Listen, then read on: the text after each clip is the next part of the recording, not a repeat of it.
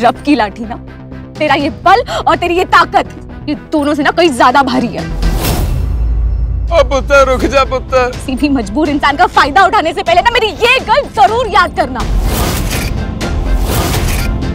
तुम्हारी ये बकवास बातें सुनने के लिए मेरे पास बिल्कुल टाइम नहीं है समझी? और वैसे भी इस सारे स्यापे की वजह से मैं ऑलरेडी काफ़ी लेट हो चुका हूँ। ऐसे जाने नहीं दूँगी तुझे।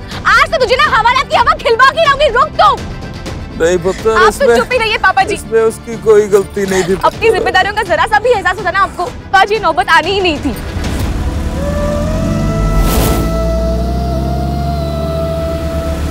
ओए! रुक! भागता कहाँ? छोड़ूँगी नहीं मैं तुझे वो लड़की दालचीनी परम भाई साहब वो थी वहाँ रसोई में मैंने खुद देखा था मगर अचानक से गायब कहाँ हो गई ये मुझे समझ नहीं आया लड़की वहाँ पर आई थी लेकिन उसे कुछ काम करना नहीं आता था इसीलिए पाँच मिनट के अंदर अंदर मैंने उसे वहाँ से भगा दिया। बिम्बी तुमने बीजी की जो चुन्नी जलाई थी इस्त्री करते वक्त उसके बारे में हमने कभी किसी से कुछ नहीं कहा। और तू सफ़ाई करते वक्त वो जो एक्सपेंसिव इटालियन मूर्ति थी जो दार्जी लेकर आए थे वो तोड़ दी। मैंने कहा किसी से? नहीं ना? पता नहीं तुम लोगों को चैन क्यों नहीं पड़ता? जब देखो दिलचस्पी लेती हो हमारी जासूसी में। ओ हाइपर जाइए क्यों झूठे इल्ज़ाम लगाए जा रहे हो उन पे? अगर मैं झूठ बोल रही हूँ तो दिव्या तुम्हारा झुमका कहाँ है?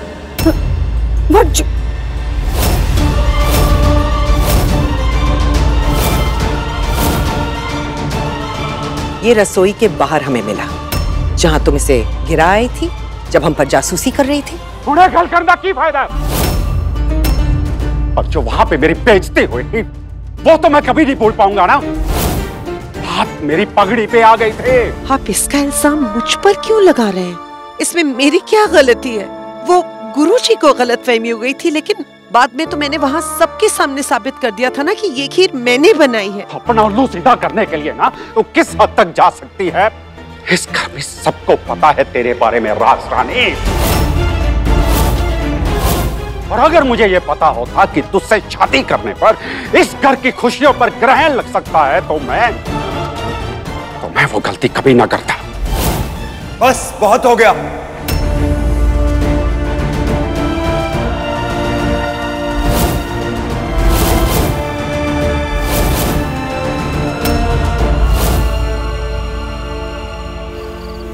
लो पापा जी। आज तो डर कर भाग गया पापा जी। वरना मैंने ना हवालात की हवा खिलवानी थी आज उसे। अगिन नहीं पुत्र।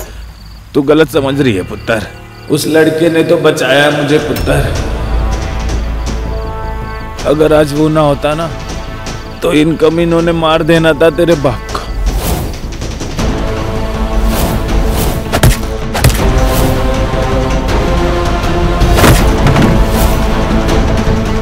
क्या कह रहे हो पापा जी आप?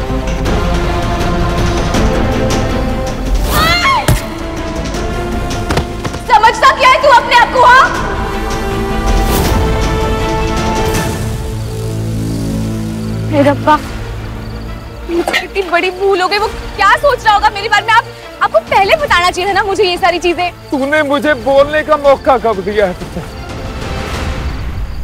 तेज?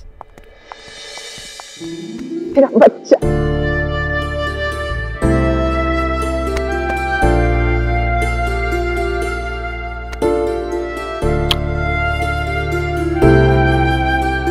दाजी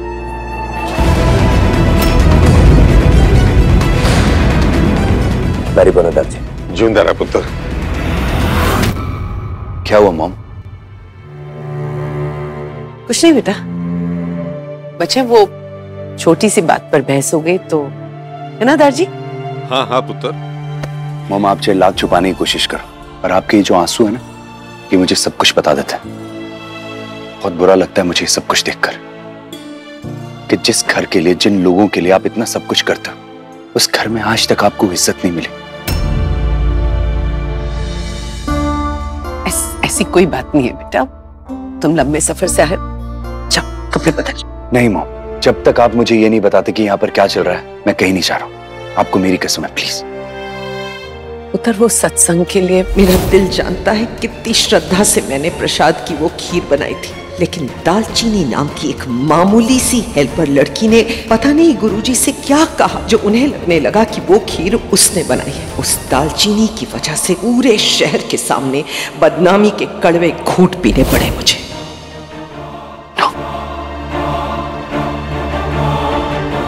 बाहर वालों के तानों का क्या बुरा मानना, मॉम? जब मेरे पापा ही मेरी मॉम से बैर करके बैठे हो। और इनसे भरोसे की उम्मीद ही क्यों करनी है? आज तक इन्होंने आप पर भरोसा किया जो ये अब करेंगे। कनेडा में बड़े ही तू अपनी मर्ज़ी का मालिक रहा होगा, और ये मत बोल, ये घर जो है ना, ये मेरा है। और अगर इस घर में रहकर तू अपने बाप की इज़्ज़त नहीं कर सकता ना तो चल चल दफ़ा हो यहाँ से।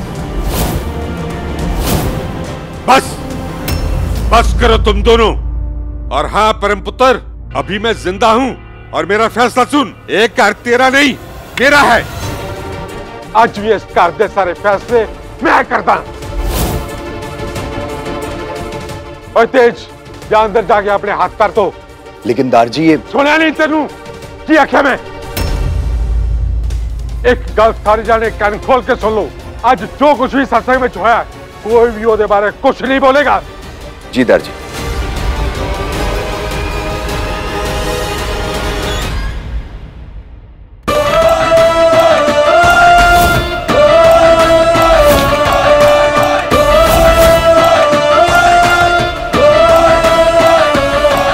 तेज बेटा इतने लंबे सफ़र से आए कुछ खाना नहीं खाया होगा भूख लग रही होगी ना? मॉम खाना रखो आप पहले। अच्छे से मिल तो लो मुझसे। मेरा बच्चा।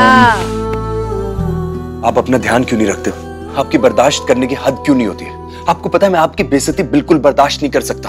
अरे छोड़ो ये किचन खाने इन सब का चक्कर। घर में इतने सर्वेंट्स हैं नौकर हैं उनको संभाल ले दो ना आप क्यों? आओ इधर बैठो आराम से मेरे पास। किचन में जाना छोड़ दूँ मैं। तो मतलब अब मेरा बच्चा नौकरों के हाथों का खाना खाएगा। तुझे पता है पूरे दिन में अगर एक ऐसा वक्त होता है ना जब जब मुझे सबसे ज़्यादा खुशी मिलती है, सबसे ज़्यादा सुकून मिलता है तो वो तब होता है जब मैं तेरे लिए खाना बना रही होती हूँ। खाना बनाना मेरी पहचान है और तू मेरा अभिमान है। ना मैं अपनी पहचान खोऊँगी और ना मैं अपना अभिमान खोऊँगी। ओके ओके यहाँ आप बैठो। समझ गया मैं सब कुछ। तो जैसे मैं आपका अभिमान हूँ ना वैसे आप मेरी जान हो। और अपनी जान तो सबको प्यारी होती है ना? होती है ना? तो फिर मैं आपको तकलीफ़ में कैसे देख सकता हूँ? की हाल है तेज पुत्र? कौन सा राज छुपा रहा अपनी चाचियों से जो आगे अच्छे से मिला नहीं और ठीक आके माँ के पास बैठ गया है? ओहो लो अब मिल लेता हूँ चाची। कैसे हो दिव्या चाची? हाँ एकदम फिट एंड फाइन लग रहे हो आप तो। बिम्बी चाची ओह, कैसे हो आप? मैं तो बढ़िया। मगर लगता है कनेडा में कुड़ियाँ शुड़ियाँ काफ़ी फंसा ली हैं तो हमारी याद ही नहीं आई कभी तुझे। विम्मी चाची मेरे पास इन बेकार की चीज़ों के लिए बिल्कुल टाइम नहीं है। मेरा बेटा उसी से प्यार करेगा जिसे मैं उसके लिए चुनूँगी राइट एग्जैक्टली सुना आपने क्या बोला मम्मा ने? हाँ? चलो इसी बहाने आपके चेहरे पे थोड़ी सी मुस्कान तो आई वरना सुबह से उस लड़की ने आपका मूड ही ऑफ़ कर रखा था। देख लेना जिसने अपनी पसंद की किसी लड़की को घर में ले आएगा ना दिन पर जाइएगा गुरु और सपने दोनों चूर चूर होने वाले कैसे नहीं होता पुत्र? आज पहली बार किसी ने मेरे खाने पर सवाल उठाया। अरे वही तो वही तो। ऊपर जाई जी ने इतने प्यार और इतनी मेहनत से खीर बनाई है। मगर लोग पता नहीं वहाँ क्या बकवास कर रहे थे कि खीर किसी दालचीनी नाम की लड़की ने बनाई है। क्या क्या नाम बताया आपने? दाल? दालचीनी दालचीनी दालचीनी क्या होता है माम? सिनेमन सिनेमन दालचीनी नाम है मतलब उसका। गुरुजी भी यही कह रहे थे कि खीर का स्वाद दालचीनी के हाथों जैसा है। गुरुजी को क्या पता कि मेरी मॉम के हाथों का बने खाने का मुकाबला इस पूरी दुनिया में कोई नहीं कर सकता। फिर आपके आगे ये दालचीनी धनिया क्या चीज़ है मॉम? कुछ भी नहीं। ड्राइवर गाड़ी रोक।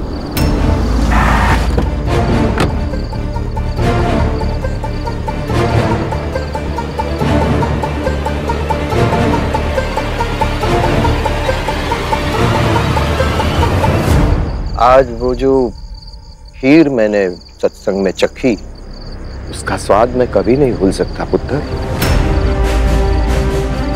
क्या आपने गुरुजी से भी झूठ बोलेगी? क्या तूने नहीं बनाई थी खीर?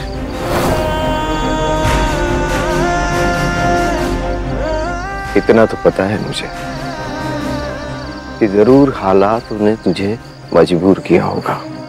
नहीं, वरना तू तू अपने गुरुजी से झूठ नहीं बोलेगी। परजाई जी भाई आपने इतनी बढ़िया इतनी टेस्टी खीर बनाई है ते अपने पुत्र नूले तक चखाई भी नहीं।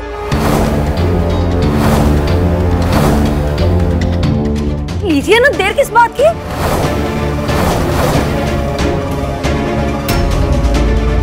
अरे खिलाओ ना सोचना क्या है इसमें? हम क्या सोच रहे हो?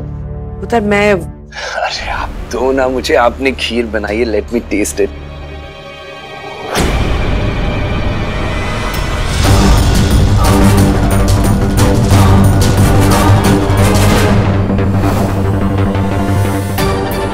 वाह मॉम क्या खीर बनाई है आपने?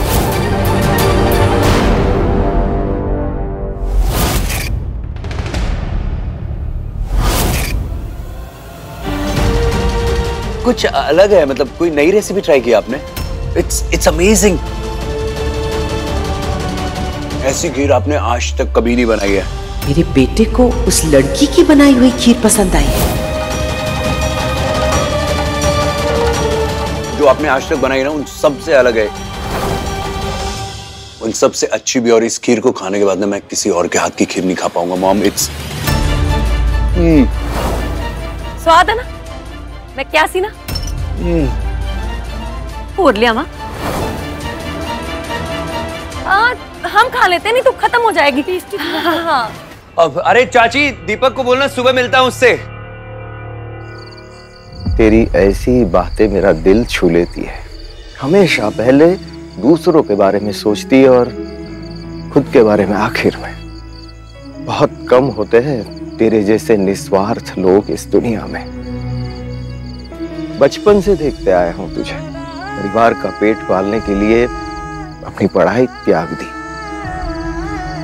परिवार की खुशियों के लिए अपना वजूद त्याग दिया।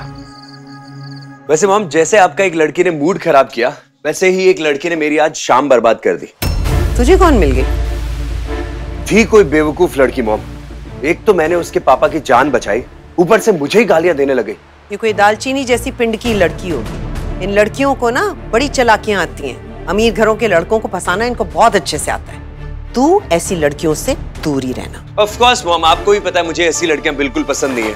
मुझसे बर्दाश्त ही नहीं होती ऐसी लड़कियाँ जो इजीली पैसा बनाने के लिए ना कुछ भी करती हैं। ना कोई गोल होता है ना कोई इनका लाइफ में एम होता है। देखना आप मुझे तो ऐसी लड़की मिलेगी जो स्मार्ट हो इंडिपेंडेंट हो और प्रोग्रेसिव थिंकिंग वाली हो। व्हाट्स इट पढ़ाई लिखाई सब कुछ थोड़ी ना होती है गुरुजी। मेरे हाथ के बने खाने से अगर किसी भूखे का पेट भर जाए ना, ये बहुत बड़ी बात है मेरे लिए।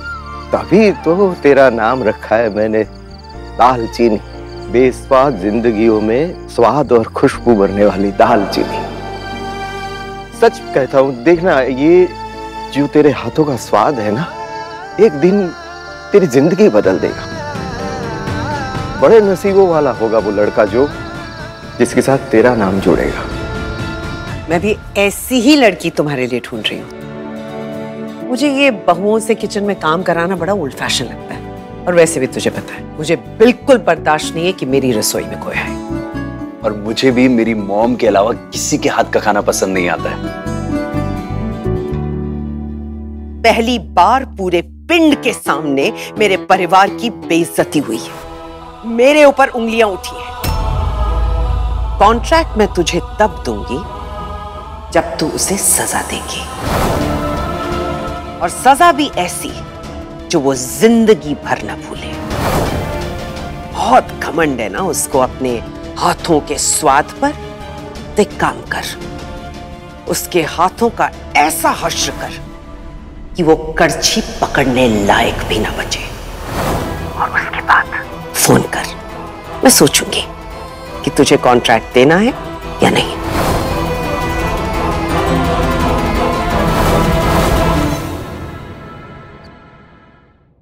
वो जो पैसे देने थे वो तो ठेके वाले की उधारी चुकाने में चले गए। अब कल कुछ काम ढूंढना पड़ेगा ताकि घर छुड़वा सकूँ। पर शुक्र है रब का कि बुआ जी ने यहाँ रुकने के लिए जगह दे दी। ओए कुड़िए रुक जाए थे काम उठा के चली जा रही है। बुआ जी आप ही के पास आ रही थी। क्या मेरे पास आके करेगी तू? जा अपना जो टब्बर लेकर आई है ना अपने बहन को अपने बाप को और तू भी सामान उठा और निकल जा यहाँ से।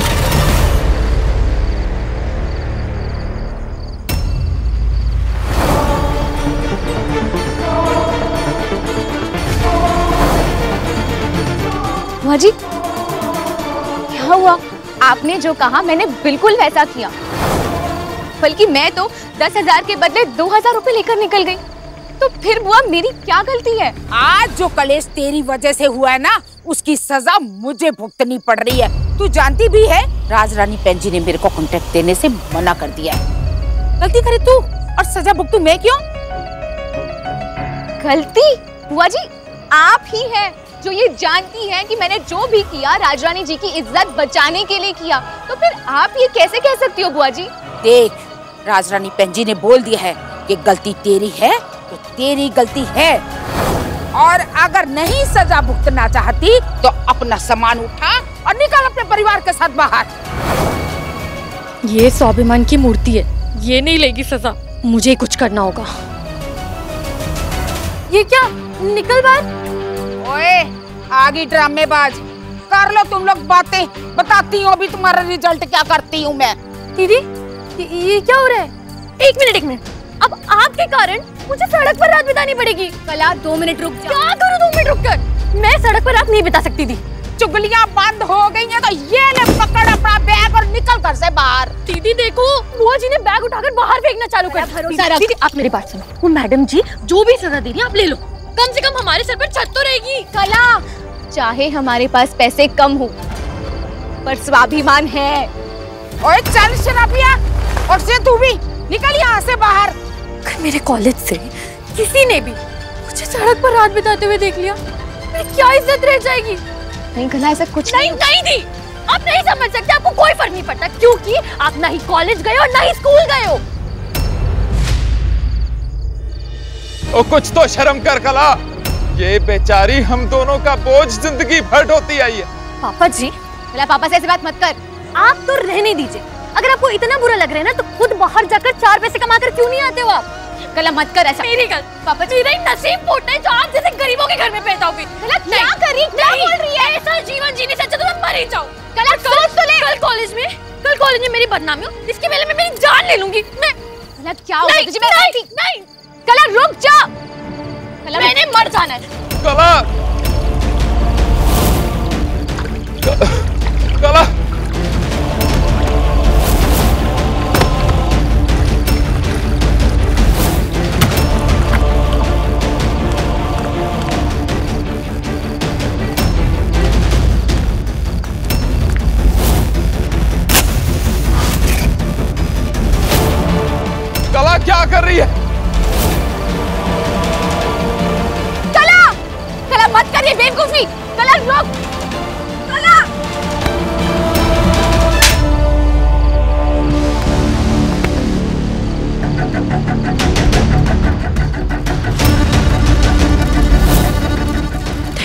गॉड एक सेकंड और लेट हो जाती तो सच में आग लग जाती।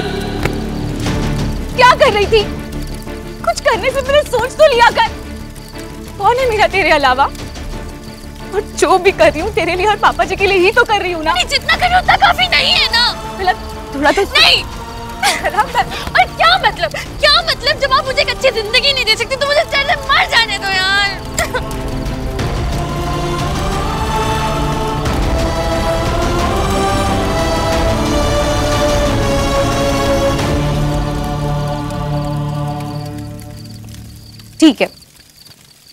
अगर बेइज्जती के कड़वे घूट पीकर, गलती ना होने के बावजूद भी उसकी सजा भुगतने से अगर तेरी जान बचती है ना कला तो ये सजा मंजूर है मुझे।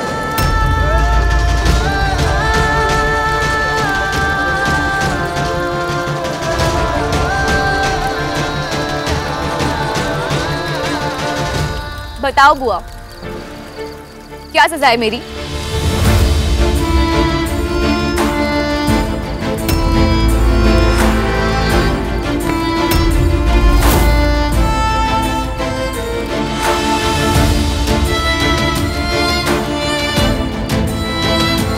तुझे अपने हाथ जलाने होंगे। चल चल मेरे साथ।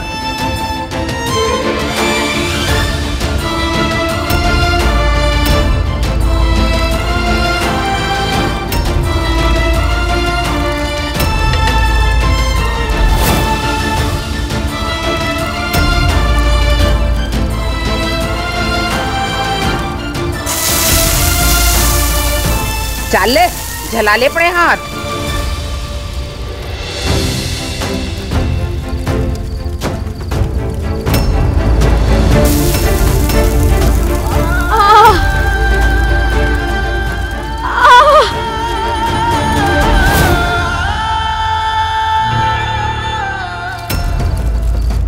आज जो इसकी वजह से मुझे सुनने को मिला है, वो तो मैं एक बार को माफ़ कर देती लेकिन आज ज़िंदगी में पहली बार मेरे बेटे को किसी और के हाथ का स्वाद पसंद आया है। ये मैं कैसे माफ़ कर सकती हूँ? आज तो सिर्फ़ तेरे हाथ चले। लेकिन मैं चाहती हूँ कि तेरे इन हाथों का स्वाद कभी भी किसी की ज़ुबान तक ना पहुँच पाए।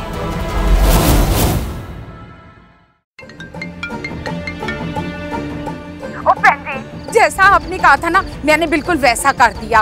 आपको वीडियो भी भेज दिए सब कुछ हो गया। अब तो कॉन्ट्रैक्ट मेरा है ना? कॉन्ट्रैक्ट तेरा हुआ पर मेरी एक शर्त है। शर्त? और की शर्त है? शर्त यह है कि कॉन्ट्रैक्ट मिलने के बाद तू कभी भी दाल चीनी नाम की लड़की की मदद नहीं लेगी। और अगर मुझे भनक पड़ी कि तूने उसकी मदद ली है तो मैं उसी वक्त तेरा कॉन्ट्रैक्ट कैंसिल कर दूँगी।